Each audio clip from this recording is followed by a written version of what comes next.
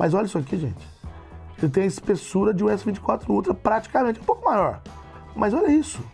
Vou falar mais, mas na cor preta ele vem com esse esse couro aí, que é esse couro sintético, né? Que é esse ou vegan leather, couro vegano. Então, na cor preta ele vem com esse. Isso já é um detalhe do aparelho, não é uma, não é uma case nem nada. A gente tem aqui uma câmera decente com ele aberto e com ele fechado. Fala meus amigos do Loop Infinito, eu sou o Júnior da NET e hoje o vídeo aqui no canal é sobre o smartphone dobrável mais fino do mundo até o momento. Vamos conhecer hoje o Honor Magic V2. Vamos fazer um unboxing, tirar da caixa e conhecer detalhes desse cara aqui. Roda a vinheta.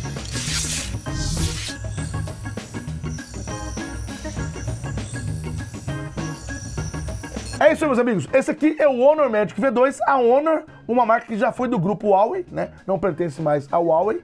E por esse motivo, pode negociar com empresas americanas, né? A Huawei tem esse, essa restrição aí. A Honor, então, ela pode, pode ter o sistema operacional Android, mas nem sempre tem. Eu comprei no eBay, né? Eu vou explicar com calma. Na verdade, gente, o unboxing já foi feito. Eu tô com ele aqui depois, no meio do vídeo pra frente, aí eu mostro pra vocês o unboxing, como a gente tem feito aqui. Mas olha, de cara eu já quero mostrar pra vocês que ele se parece com um smartphone, vou colocar convencional, ou o que eles chamam de barra, smartphone de barra, né? Ele tá lá, ó, ó.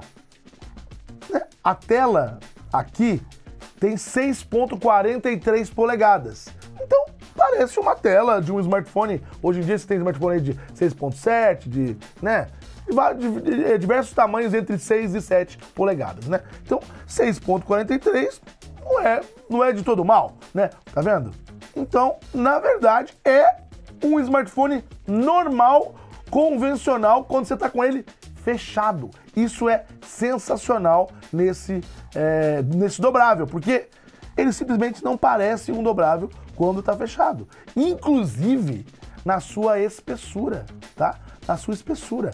Se eu mostrar para vocês aqui o quão fino ele é, vocês não vão ter ideia eu mostrando só ele aqui, né? Se eu mostrar ele aqui, ó, fechado assim, ó, ele tem menos de um centímetro, é 9,9 milímetros dele fechado assim, tá bom? 9,9 milímetros e ele é o dobrável mais fino do mundo. Não tem nenhum que chega perto. Nem o recém-lançado Z Fold 6, que foi agora lançado com, com um tamanho menor, né? Ou seja, ele tá um pouco mais enxuto ali, mais fino, mas ele não chega nessa espessura aqui. E digo mais, tá? Esse cara aqui, o Magic V2, ele foi anunciado no ano passado, dia 12 de julho de 2023, chegou no mercado dia 27 de julho de 2023. Só que a Honor acaba de anunciar o Honor Magic V3. Infelizmente não estamos com ele, porque ele acabou de ser anunciado coincidentemente no mesmo dia, no dia 12 de julho, só que ele chega no mercado hoje, dia 19 de julho, dia que esse vídeo está sendo postado. Então, hoje é por isso que eu falei que esse aqui é o smartphone dobrável mais fino até agora, até o momento, que a partir de hoje chega no mercado aí o Magic V3, que é o irmão mais novo desse cara aqui. Ele tem 9.2 é, 9.2 milímetros. 9.2 milímetros, conseguiram tirar 0.7 milímetros, quase um milímetro aí desse cara aqui, que já é, tipo, muito, muito, muito fino. Tá, e por que eu falei dessa história de, ah, ele pode ter Android, ele pode negociar com empresas americanas? Porque é o seguinte, vocês estão vendo aqui que ele está rodando Android. Só que essa tarefa não foi fácil, não. Eu comprei esse cara, eu vou explicar depois no unboxing com calma, mas eu comprei no eBay, tá?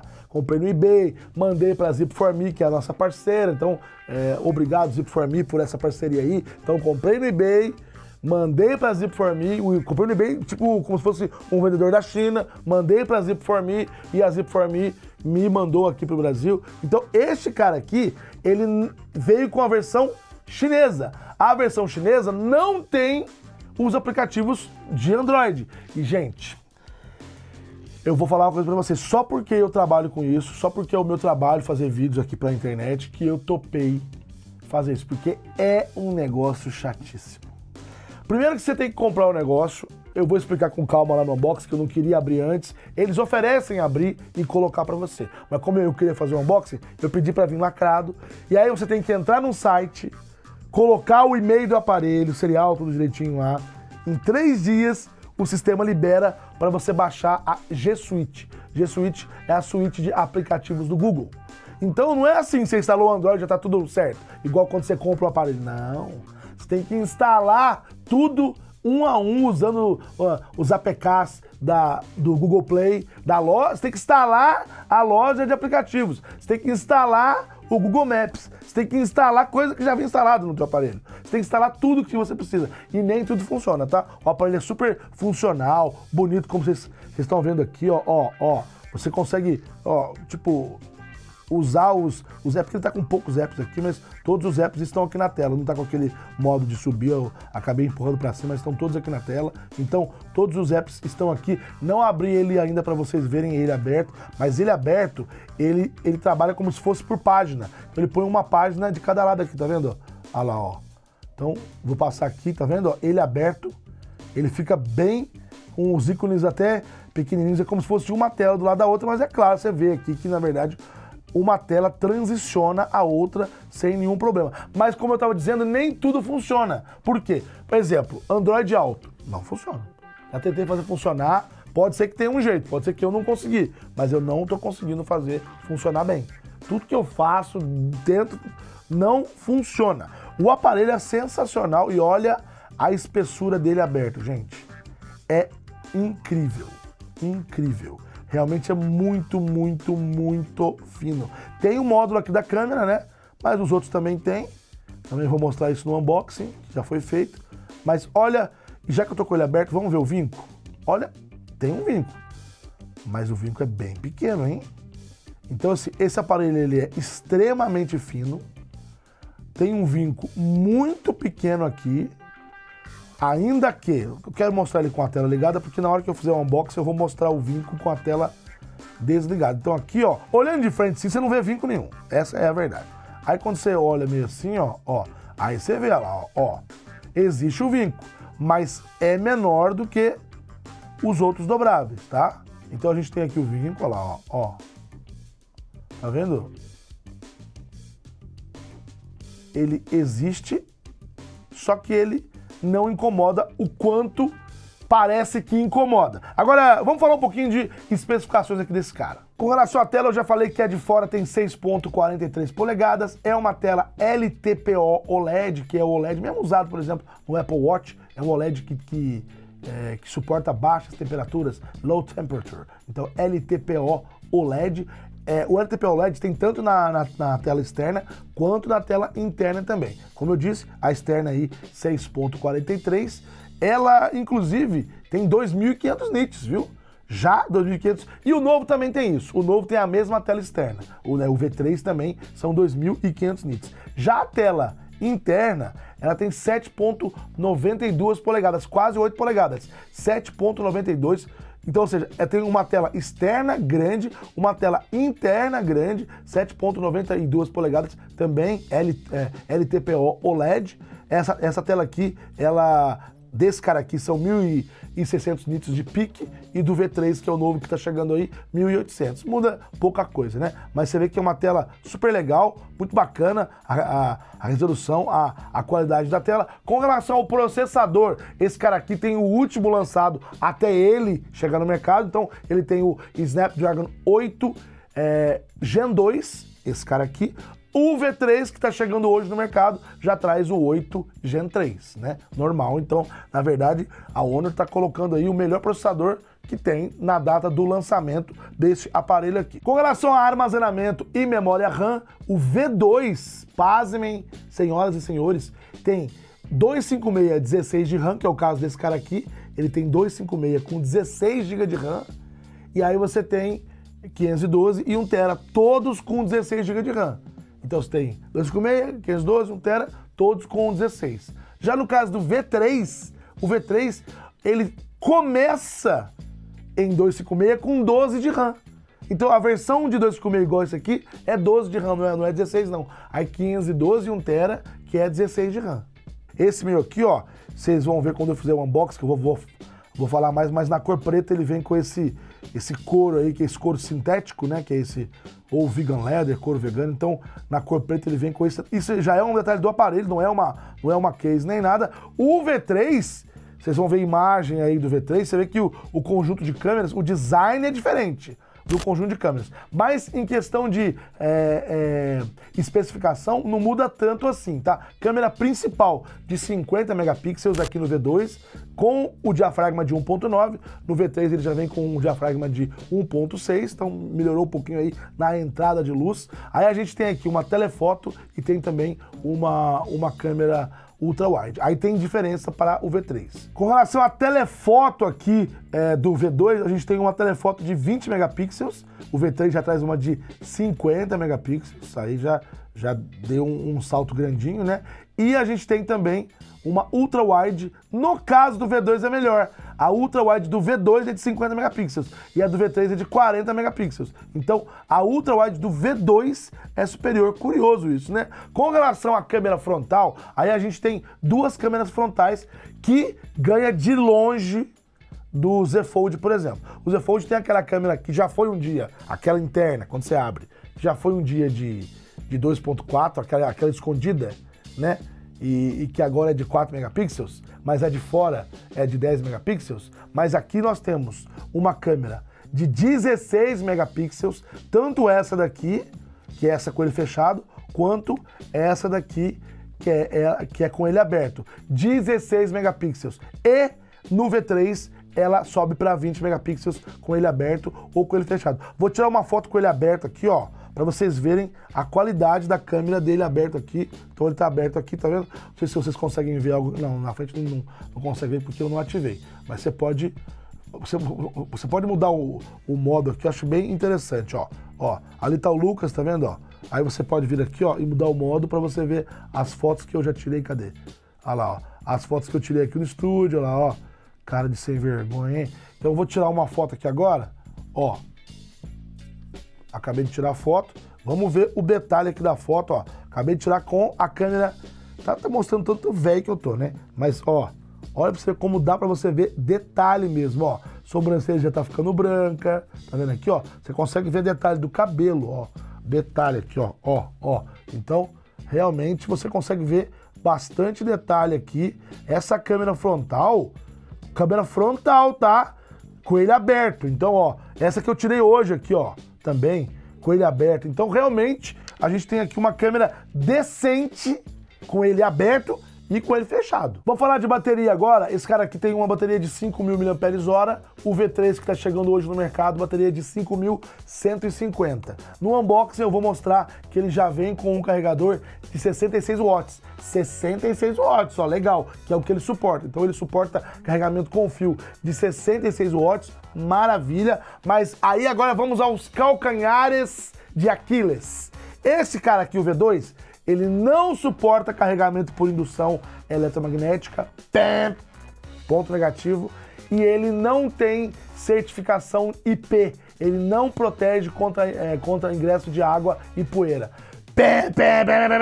Isso é ruim, isso é ruim, porque você tem um negócio desse que é fininho, é frágil, mas não tem certificação contra poeira e contra água, eu acho complicado, tá? Bateria é ok, carregamento rápido é ok, não carrega por indução, porém, o seu irmão V3 vem para resolver isso. O V3 vem com bateria de 5.150, um pouquinho maior, mantém 66 watts de carga com fio, suporta carga é, é, eletromagnética, ponto positivo, maravilha, suporta carga eletromagnética e vem com certificação IPX8, que é a certificação até o Z Fold 5, porque o Z Fold 6 agora veio com IP48. Então agora a Samsung garante a certificação também de poeira não no nível alto, mas também de poeira. Aqui, no caso, o V2 não tem, o V3 vem agora com a certificação IPX de poeira não tem, 8 de água até um metro e meio, até meia hora de um metro e meio de profundidade, até meia hora de tempo ali que pode ficar submerso. Agora eu quero mostrar para vocês uma comparação de espessura, gente, que é muito incrível. Aqui ele tá fechado e esse cara aqui que tá aqui do meu lado, ó, é o S24 Ultra, um smartphone de barra não é dobrável, tá? Então eu vou colocar ele aqui do lado, olha. aqui do lado, Pederneiras. Olha que coisa mais incrível. Vocês estão vendo aqui, gente? Que ele consegue ser basicamente a espessura de um smartphone de barra. Ambos sem case, né? Você tem um módulo de câmera que no caso do V2 é maior? É maior sim. Mas olha isso aqui, gente. Ele tem a espessura de um S24 Ultra praticamente um pouco maior. Mas olha isso. É assustadoramente fino. E para não ser, olha, vou pegar aqui o iPhone, que é mais fino um pouco. O iPhone está aqui do lado. Esse é o iPhone 15 Pro, ó. iPhone 15 Pro, sem capinha, sem nada. Olha o módulo de câmera do iPhone como é alto. Tá vendo aqui, gente, ó. Então, ó, ó olha isso. É assustador. Eu vou ficar, deixa eu tentar pôr mais, mais baixo aqui. Você vê que ele é um pouquinho mais grosso, mas não é aquela coisa como a gente mostrava os dobráveis que o povo ficava, nossa senhora, é um telefone em cima do outro. Não dá, não dá para andar com isso no bolso. Gente, é um celular que você pode andar com ele no, no bolso tranquilamente. Ele é da espessura de um smartphone de barra normal. Você vai usar ele aqui de boa. Aqui ele tem né, o, o desbloqueio por indução, então aqui eu posso, aqui ó, aqui ele tá bloqueado, encosto o dedo aqui do lado, desbloqueia. Vocês viram que é rápido, dá para usar maravilhosamente bem com a tela aberta aqui, ó. Muito bom mesmo esse cara aqui. E, bom, agora vamos fazer um unboxing dele, né? Mostrar umas, umas comparações aí. No unboxing, inclusive, eu mostro comparando a espessura com o Z Fold 5, que era o que tinha na época. Então, na net aqui é, do futuro chamando na net do passado. O Nanete do futuro chamou o Nanete aqui do passado. Ah, mas você tá com a mesma roupa assim. É pra não, é pra, pra, pra não dar problema de continuidade aqui no vídeo, gente. Mas é o seguinte. Aqui eu estou com o telefone totalmente lacrado. Vocês até viram ele aí já fora da caixa, né? Que bom. Mas. É, eu comprei ele, ele também é uma ajuda aí do pessoal da Zip4Me, que nos, que nos ajudou, né, para trazer o produto para cá. E eu comprei ele no eBay, de um, é, diretamente da China. O eBay entregou nos Estados Unidos e depois veio para cá pela Zip for Me. Por que eu tô falando isso? Porque quando a gente compra esse produto lá da China, eles acabam abrindo, tiram o lacre aqui da caixa, porque eles querem instalar os sistemas do Google aqui dentro. Porém, eu pedi para que ele viesse lacrado para que eu mesmo fizesse isso. Para isso, eu preciso abri-lo e aí sim, com o serial number e um negócio que eu faço aqui, eu posso solicitar o Google. Uh, todo o sistema do Google aqui, do Google Play, da, da, Play Store e tudo mais. Então, por isso que ele, digamos, eu estou fazendo isso no passado, para vocês já verem ele funcionando certinho no futuro, que leva pelo menos três dias úteis, tá bom? Então, vocês estão vendo aqui a caixa. Ela é uma caixa até que simples, né? Tem um plástico aqui que é o selo dessa caixa, Honor Magic V2, Magic OS, que é, digamos, a camada aí é, que a Honor coloca em cima do Android, né? Lembrando que ele, ele tem uh, o Android é, 13, então ele tem o Magic OS em cima. E lembrando também que ele tem é, a versão somente chinesa, que é o caso desse cara aqui. A hora que eu abrir aqui, ele vai estar com a versão é, da suíte chinesa, que não tem Google Play. Você precisa solicitar. É por isso, é por isso, gente. Então, vocês estão vendo, este lado aqui não tem nada na caixa, tá bom? A parte de cima apenas a marca Honor, tá bom? Esse lado aqui, informações do aparelho, que estão totalmente borradinhas para os senhores. E esse lado aqui apenas uma, uma setinha aqui, um tracinho, tá vendo? Que parece um V, inclusive, que uh, eles usam, né? Uh, na verdade, o Magic eles usam muito, mas é um símbolozinho aí que a marca costuma usar. E aqui a gente tem uma linguetinha também, tá bom? E que mais? Ah, tem a parte de trás aqui que tem alguns ícones que são importantes saber. Tem o IMAX Enhanced, então eles têm essa certificação aí, esse melhoramento de imagem certificado pela IMAX, DTS-X. Já expliquei esse tipo de, de, de, certificação aí em outros produtos, que tem também aqui no caso é de áudio, né, DTS-X, e tem também a questão da caixa, essa coisa de ser tinta à base de soja e tudo mais, e alguns QR Codes aqui, fala também de a questão da da fabricação, feito com negócio de papel riscado, esse tipo de coisa, e é isso. Vamos abrir aqui. Agora não sei se eu já puxo o plástico direto ou se eu abro aquela linguetinha que tá aqui, ó. Essa linguetinha tá pro lado de fora. Ah, tá pro lado de fora, Brasil. Ou não, ou eu tô louco. Não, não tô louco. Eu já ia pedir faquinha. Pera aí, calma aí. Faquinha bolo puma. Quero faquinha bolo puma. Cadê? Cadê? Nossa, que educação. Eu esperava um golpe.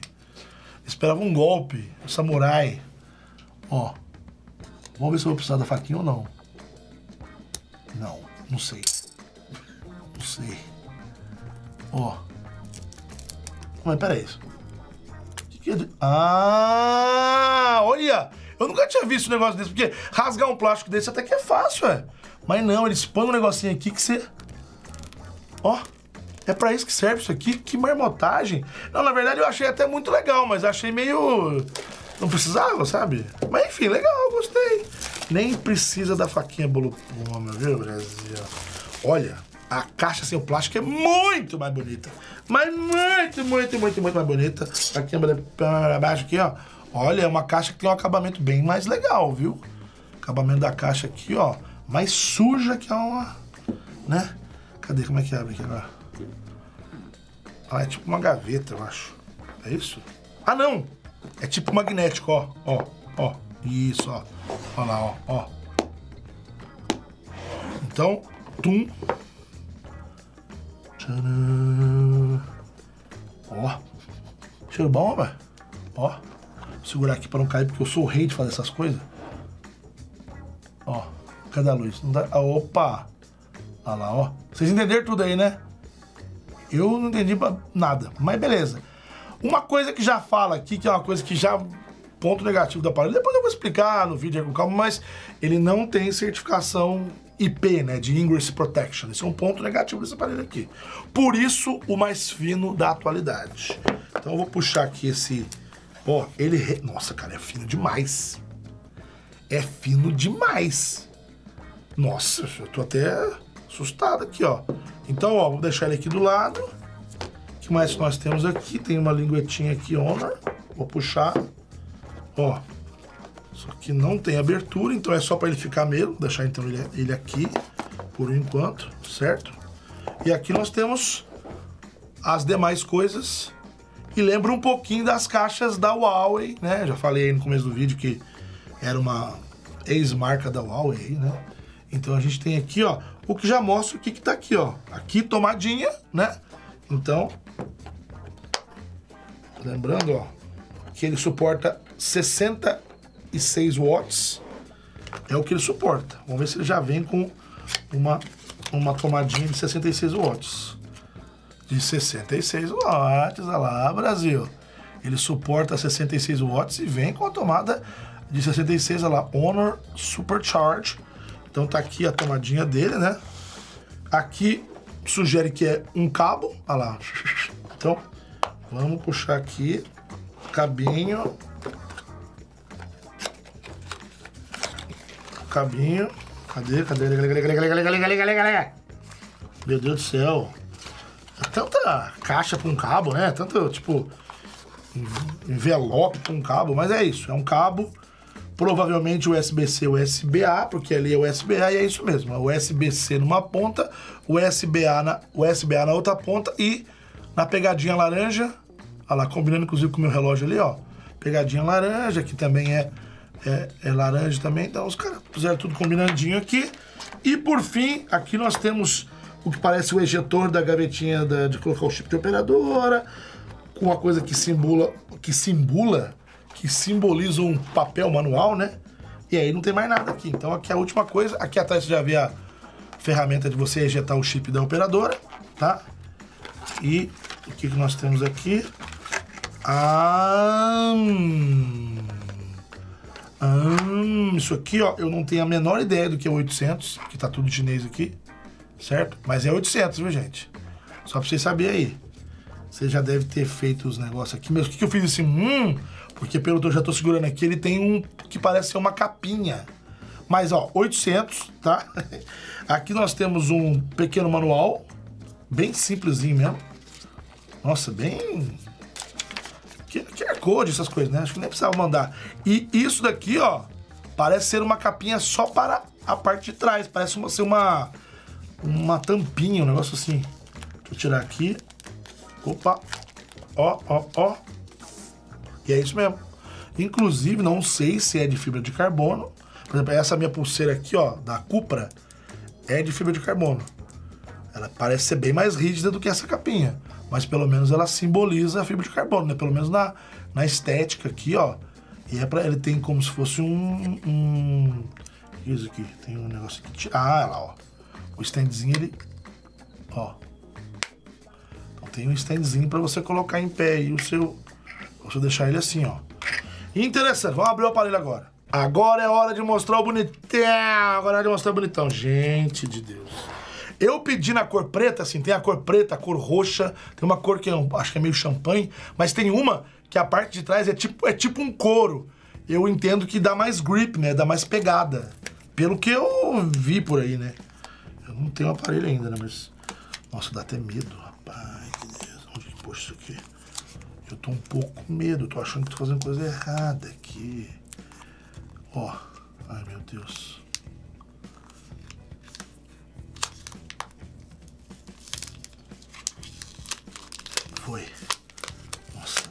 É tão fino. Parece que vai quebrar. E realmente ele é meio de couro atrás, ó. Ó. A pegada aqui, ó. Gente, é impressionantemente fino. Para um smartphone dobrável, eu nunca vi um negócio tão fino na minha vida. Ó, título de, de comparação. Ó, esse aqui é o Galaxy Z Fold. Tudo bem que tem os módulos das câmeras, mas dá uma olhadinha na espessura dele. Depois aqui no vídeo eu vou, eu vou falar sobre especificações, aí eu falo sobre o tamanho, mas ele é bem mais espesso. E dobrado, tá? Vamos dobrar os dois aqui, esse aqui eu não dobrei ainda, mas ele aberto você quase não vê vinco. Dobrado, meu Deus do céu, aí fica um negócio... É um intervalo, né? Olha aqui. Ele é bem mais grosso mesmo, tá? Ele é bem mais grosso, não sei se tá dando pra vocês verem bem aí. Mas ele é bem mais... Vou pôr até de frente aqui, ó. Aqui assim, ó. Talvez fique até mais, mais fácil de ver. Tá vendo, ó? Ele é bem, bem mais grosso e em questão de tela, tá bem suja as telas aqui, gente. Nossa senhora. Mas a proporção de tela desse aqui é uma proporção muito mais amigável ao que nós estamos acostumados, tá? Mas é isso, né? O dobrado é mais fino, ele aberto é mais fino, realmente. E com relação ao vinco, só para mostrar para vocês aqui, não tinha dobrado ele ainda. Aqui, ó, ele tem o vinco, mas o vinco é bem menos perceptível. Ó, o vinco lá, ó, ó. Mas é bem menos perceptível. Tá vendo aqui, ó? Ó, ó. O vinco, você vê o vinco, mas o vinco é bem, bem menos perceptível, ó. Muito bem, unboxing feito. Agora eu devolvo pro Nanete do Futuro aí pra terminar o vídeo e falar um pouquinho sobre especificações, ligar o aparelho e tudo mais. Segue aí. Muito obrigado, Nanete do passado, que me entregou aqui pro Nanete do futuro. A gente tentou manter a, a, mesma camiseta, né? O resto tá tudo diferente. Barba diferente, relógio, pulseira, cabelo, tudo. Mas, pelo menos, o Nanete do passado aí, ó, é, me avisou que eu tinha que vir com essa camiseta aqui, aí aqui estou com ela. Mas, gente, é muito curioso, né? Porque esse vídeo foi gravado há algum tempo, quando a gente recebeu o aparelho, né? Que eu fiz as configurações, vocês viram aí o unboxing e tudo mais, né? Mostrei tudo que vem dentro aqui, a caixinha, caprichadinha a caixinha. Aliás, muito obrigado de novo a Zip For Me aí pela parceria, para viabilizar a chegada desse aí, é desse cara aqui. E, e, eu falei que esse cara aqui, ó, o V2, ele não tem carregamento por indução, que o V3 tem, né? Mas eu não comentei que é, não sei se é 50 ou 55. Aqui um lugar fala 50, outro fala 55, mas 50 watts no carregamento por indução, ó, sensacional, parabéns, tá? Eu sei que tem os concorrentes aí, né? É, a OnePlus mesmo tem um concorrente que, que é bem interessante, que tem vídeo dele aqui no canal, inclusive, tá? Que ele tem, por exemplo, ele tem uh, o carregamento, mas não tem a certificação, sabe? Um tem uma coisa, mas não tem outra. Mas esse V3 que tá chegando aí, tá chegando com tudo. Por falar nisso, você deve estar tá se perguntando, mas peraí, quanto que, que vai vir esse negócio e se vai vir para o Brasil. Bom, primeiro que eu não tenho a informação se vai vir para o Brasil. Eu sei que a Honor Brasil marcou um evento pra, até o final do mês aqui. Vamos saber o que, que eles vão anunciar. Não sei, não sei. A questão é, o V3, que acabou de ser lançado e começa a ser vendido hoje, está sendo vendido na sua versão de 12 GB de RAM e 256 de armazenamento na China por 9 mil yuan, que dá mais ou menos 1.240 dólares. Ou até a versão de 16 GB de RAM do V3 com 1 tera de, é, de armazenamento por 11 mil yuan, que dá por volta de 1.515 dólares americanos, né? Esses valores todos mais baixos do que o Z Fold 6. Então tão, já estão falando que é o, o Z Fold 6 Killer. Já esse cara aqui você vai achar no mercado por um preço um pouco melhor, visto que ele foi lançado faz um ano e ele é inferior em algumas especificações do V3, né? Lembrando que ele é superior na câmera telefoto, ele é 50 megapixels, e ele é superior nessa questão desse armazenamento de 256, já vem com 16 de RAM, enquanto o outro não, né? Então, dessas duas coisas. Mas dependendo de onde você achar aí, vai girar em torno de 1.300 dólares, que é até mais caro do que o outro lá, que é 1.240, mas vai depender de onde você, onde você pesquisar. Pode ser que você ache até mais barato. Então eu não sei realmente se vai vir para o Brasil, isso aí não me foi falado nem nada. Só estou aproveitando o momento de hoje, que é o lançamento do V3, para mostrar para vocês que sim, eu tenho um smartphone dobrável mais fino do mundo até então, né? Muito bem, meus amigos, esse foi meu vídeo aqui sobre o Honor Magic V2. Eu fiquei realmente impressionado, encantado, um pouco incomodado com essa história de, de instalar aqui a G Suite. Então, talvez é muito mais interessante você comprar quando você puder comprar a versão global e não a versão chinesa, que foi o, o meu caso. Os preços que eu falei agora são preços da versão chinesa. Geralmente a versão global é mais cara, mas eles estão autorizados a negociar com empresas americanas, como eu já falei, inclusive usam o Snapdragon aqui, que é da Qualcomm, que é uma empresa americana, pode, eles têm a, a versão global com o Android. Enfim, é isso. O que, que você achou desse cara aqui? O que, que você achou dessa solução? Você tem um smartphone dobrado, dobrável e dobrado, podendo usar ele como um smartphone normal de barra. É o que dizem os gringos aí, que ele é um smartphone normal que por um acaso você pode abrir.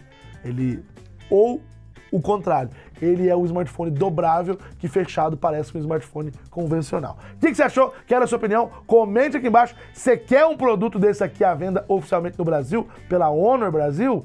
Dê seu recado, que eu vou passar para os caras lá. Quero saber a sua opinião, porque ele lá fora ele é mais barato que o Z Fold. E aí, como é que faz? É o Z Fold Killer? O que, que você acha? Comente aqui embaixo, deixe seu like pra gente crescer na plataforma, porque é difícil esse tal de YouTube verifique se o seu. Ó, primeiramente, está inscrito? Não está inscrito, inscreva-se agora. Já está inscrito, beleza, maravilha? Verifique se o seu sininho está ativado. Porque todo mundo que verifica fala, ué, tenho certeza que tá. Verifica. Ué, tá só personalizado, ué, não tá ativado. O YouTube tá desativando. Então ative o seu sininho e a gente se vê nos próximos vídeos, seus mal acabados. Um abraço e até lá, tchau, tchau.